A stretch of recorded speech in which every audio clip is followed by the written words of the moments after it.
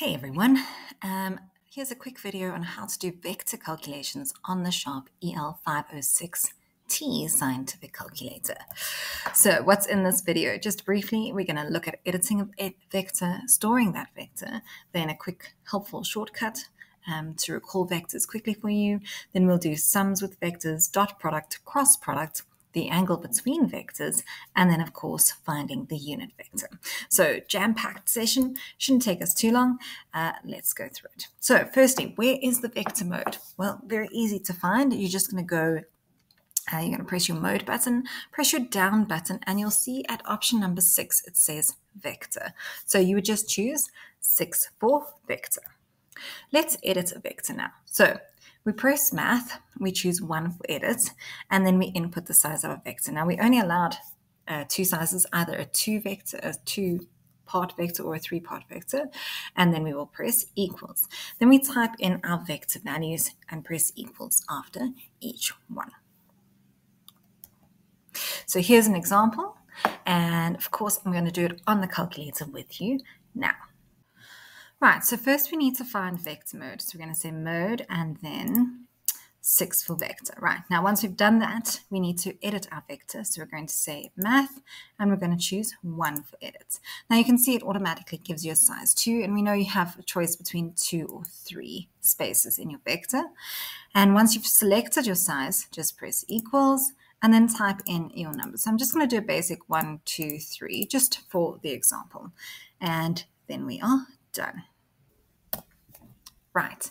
Now that we've edited our vector, we need to be able to store that so that we can work with it in further calculations. So to store the vector, I know it sounds counterintuitive, but we're actually going to press on first. Then we're going to press math. We're going to choose three to store our vector, and we're going to choose a vector to store it in. So we have four different vectors that we can save our vector into, or vector names that we can save it into. So let's do that now. Right, so we press on and then, of course, we say math, and we're going to choose um, three for store. And then we just choose the vector name we would like to put it into. So that would be zero. And voila. We can then check that the vector is saved correctly by pressing math 0 and then 0 for our first vector that we chose, vector A, and pressing equals, and it will then show us our vector. So let's do that quickly now on the calculator. Okay, so to check that we've got the correct vector, we're just going to say math and then 0 for vector, 0 for vector A, and equals, and that will show us our vector. So a really great shortcut that we can do is to actually save the name of our vector into our shortcut keys. Now, if you know, any, if you've watched any of our other videos, you know that I love these keys. Um, so you have D1, D2, D3, and essentially you'll just store the name of the vector into your D1 key. And so you can use that D1 key to recall the vector every time that you use it. So if you're going to work with vectors a lot, it's a really nice shortcut. Okay. So let me show you how to do it now quickly on the calculator. All right, so to save your, your vector name, we're just going to say store into D1, and we're going to say math and 0 for vector, and then we just choose say vector A, which is 0. Now, anytime you press D1, vector A automatically comes up.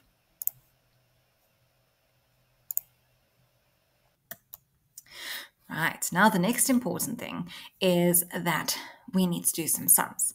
So we can multiply our vectors with the scalar. So you'll see here, I've just used the D1 key as a shortcut, but if we wanted to recall the vector, we would then use math 0, 0 to do the same thing as that D1 key. So you can see it's quite a bit shorter. And then of course, let's save this into the vector B button. So we're going to do that now on the calculator with you. Okay, so we're going to multiply that uh, vector A by 3. So we're going to say 3 times, and we'll just use D1 because it's a lot faster, and equals. And there we've got 3, 6, and 9. Now, if we want to save this vector into our vector B, we're just going to say on math store, and we'll use 1 for vector B. We can also add the two vectors together. Um, so that's really quite easy to do. And of course, subtract the vectors. And let's do that now on the calculator as well.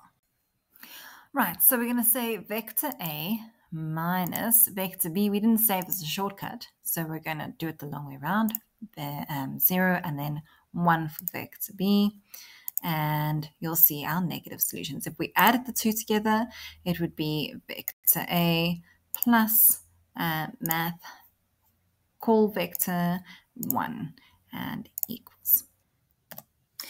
Now to find the dot product, you need two vectors, okay? So we're going to press uh, math, which is our vector menu button essentially, and then we're going to choose 4 for dot product, type in our first vector, type in, use the x comma y in brackets button, that's just to separate the two, and then press your math 01 to call vector b, and you can see that it will give us 42. So let's do it together now on the calculator um, so that you can follow along with me. All right, so to find the dot product, we're going to say math, and we're going to choose 4 for dot product. Now we need two vectors, so we'll just say D1 for vector A. This button here, that x comma y in brackets button, that creates your uh, coordinate pair, math, and 0 for vector, 1 for vector B, and equals, and we get 42. We can also do the same sequence of events with a cross product. Now, because mine vector b is a scalar vector a, a multiplication, um, scaled vector of vector a, our cross product is obviously going to be zero. Uh, but obviously, if you did different values into vector b, it would be different. Again, to find the cross product, just math. And number five is the cross product and then we'll do our two vectors and we use exactly the same button as we did with the dot product with the h, x and y. We'll say math, call our vector, vector b and equals and you'll see it will give us zero as we mentioned before. Right, so angle between vectors. Um, to find the angle between any two vectors, we press math, and obviously there's a further menu if you press the down arrow, and you'll see six is angles and seven is units. So we're going to choose six for angle. We're going to put in our two vectors, and again, because they are scalar multiples, our angle between the two of them is actually zero. So on the calculator now, I'll just do it as a different example. We'll change vector b for you. All right, so we first need to change vector b. So let's um, edit it first, right? And we'll just, also has to be a three.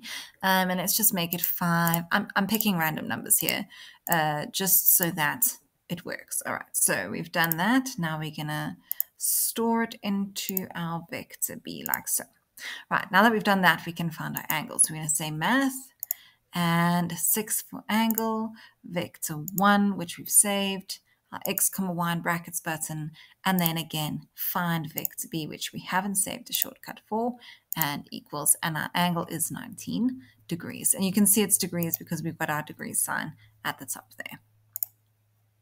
Finally, let's find the unit vector. So to find the unit vector, we're going to press math and then we're going to choose 7 and press D1 for our vector that we want to find the unit value of.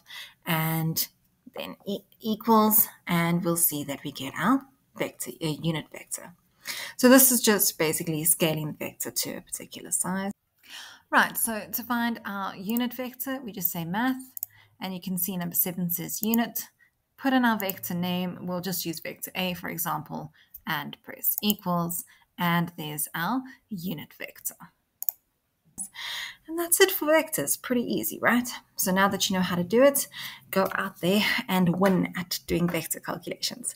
Thanks for watching. Please like and subscribe. And of course, tell your friends because everybody needs a little bit of help with maths. Cheers for now.